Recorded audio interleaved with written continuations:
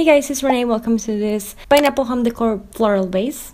For this one, we need a bottle. I'm using an empty and clean bottle of wine, but you can use any kind of like bottle. Just make sure the shape is like this one, just because this shape goes better with this design. But the first thing that I'm going to be doing is painting my bottle with some uh, yellow acrylic paint, and I'm just going to give this a few coats. You don't really need to go like truly because we're going to be painting this anyways in gold. But the yellow is just a base to make the gold pop a lot more. And then I'm going to be giving this as well two coats. Once that's done and dry, I'm going to be taking my Sharpie and I'm going to be taking like the slim part of the Sharpie and I'm just going to start first adding some dots where I want all my figures to be, like marking the space, and I'm just going to then start with a zigzag once I have my first zigzag, that's going to be easier for me to just continue. And I'm going to be doing the same thing.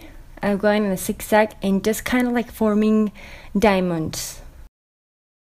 I'm going to continue the same pattern all the way to the bottom part. And this is pretty much what is going to be the template for me. I'm just going to take my hot glue gun and I'm going to just follow those lines that I draw before. And the Sharpie part is just to have a guidance for you to know where you should place those lines.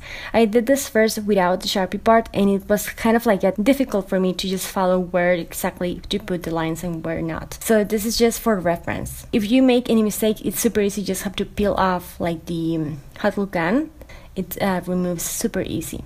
Once I'm done with the lines from one side, I'm going to move on and continue working with the lines on the other direction. So basically what I'm doing is first working on the lines from top left, we could say to bottom right, and then going for the opposite lines, which is top right towards bottom left, if that makes any sense at all. And because we're using a glue gun, sometimes it has like these things, you just have to remove them and then we're going to be painting this thing again with the gold paint that we used before in my round sponge. I tried using a brush for this but it covers better with this kind of sponges. I did three coats of this gold coating. Then because this is supposed to be a pineapple i'm just going to add some green uh, nature and yeah, this is pretty simple, but again effective because it looks super cute. Hope you like it. If you did, don't forget to give me a thumbs up. It helps a lot. I do have a like a home decor type playlist. I do have a lot of um, floral base like this one, so just check it out. Don't forget to subscribe to my channel and don't forget to share it so more people can watch it. Thank you so much for watching, and I'll talk to you later. Bye, guys.